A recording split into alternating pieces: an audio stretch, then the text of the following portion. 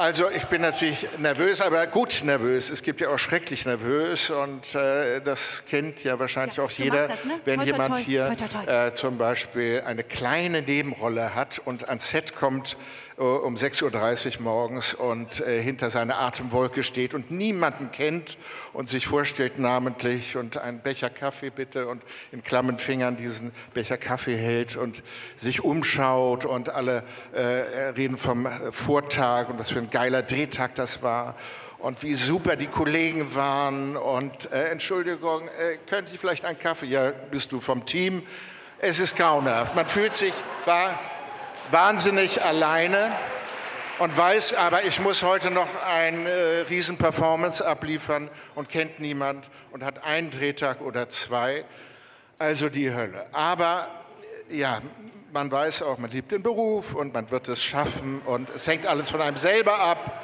Und stimmt das überhaupt, dass es von einem selber abhebt, äh, abhängt und abhebt auch natürlich.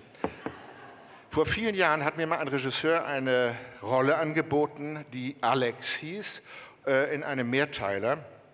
Und ähm, ich bin dann zu ihm in die Küche in seiner Münchner Wohnung und habe mit ihm über diese Rolle gesprochen. Und dann sagte er zu mir, dann sagte ich zu ihm, hör mal, äh, der steht ja da nur rum und sagt nichts, dieser Alex.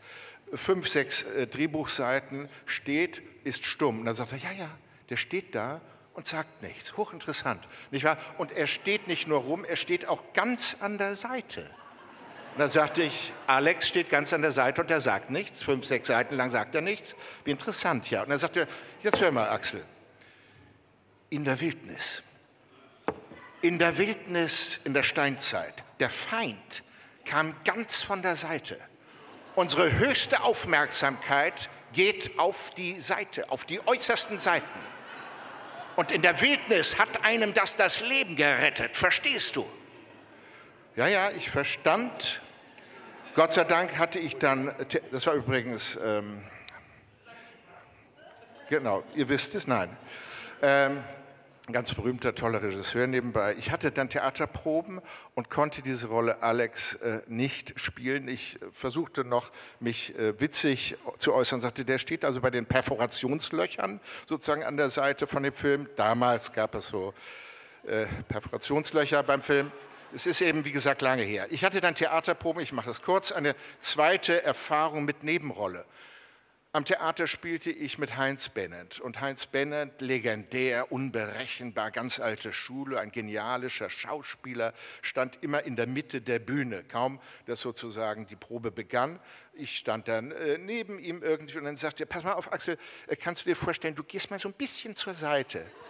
So ein bisschen mal zur Seite. Ich sagte, ja, kann ich machen, aber noch weiter. Dann habe ich so ins Publikum geschaut, wo der Regisseur saß und dann sagte, ja, mach es doch einfach mal, probier es mal aus, es kann doch nicht so schwer sein. Mein Gott, du gehst ein paar Schritte in die Seite. Ich habe das gemacht, rampenparallel zur Seite gegangen, ich verschwand in der Nullgasse. Ich sagte, ey Leute, hier sieht mich keiner mehr, hier steht ein Feuerlöscher. Heinz Bennett sagte, aber wie interessant ist das, nicht wahr? Man fragt sich, man fragt sich, wessen Stimme ist das? Was sagt dieser Mensch? Ich war nicht so mutig zu sagen, Heinz, lass stecken, aber ich war dann doch sichtbar am Abend dieser, dieser späteren Vorstellung äh, Boto Strauß Besucher. Die dritte Merkwürdigkeit, und die werdet ihr auch alle kennen, ihr bekommt ein Drehbuch geschickt eure Regisseurin, der äh, äh, Agentin, Agent ruft an und sagt, du, da kommt jetzt ein Drehbuch, lies es mal, ist eine kleine Rolle. Ja, also ein Drehtag, vielleicht ein halber Drehtag, aber Sie würden einen ganzen Drehtag auch zahlen, äh, lies es doch mal. Du liest das Drehbuch, also das heißt, du liest es nicht. Nein, nein, so sind wir nicht. Wir blättern es durch. Einmal von vorne nach hinten, dann von hinten nach vorne. Der Name taucht gar nicht auf. Beim dritten Versuch in der Mitte des Drehbuchs taucht diese Figur auf. Sagen wir mal, die Figur heißt Schalterbeamter. Du liest die halbe Seite, jetzt ruft der Regisseur an und er sagt, pass mal auf, äh, hast du das Buch schon bekommen? Sag ich, ja, ja, ja. Ähm, Ich weiß, es ist eine kleine Rolle. Ich weiß auch nicht genau, wann du dran bist auf dem Drehplan. Wir drehen sechs Wochen, musst dir äh, halt äh, äh, bereit sein. Aber äh, hör mal, ich sage, ja, aber äh, das ist der, das sagt ja ganz beliebige Dinge. Ich kann hier gar keine Figur eigentlich so erkennen. Doch, doch, doch, doch, doch.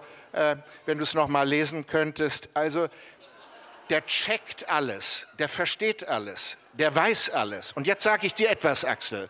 Sage, was wirst du mir jetzt sagen? Ja, diese Rolle, das ist der liebe Gott. Du spielst den lieben Gott. Du bist der liebe Gott. Nicht du, Axel, natürlich, aber diese Rolle, das ist der liebe Gott. Also gut, wir, ich stelle gerade die äh, Kategorie Nebenrolle vor. Es soll ja noch weitergehen. Ich glaube, zwölf weitere Kategorien.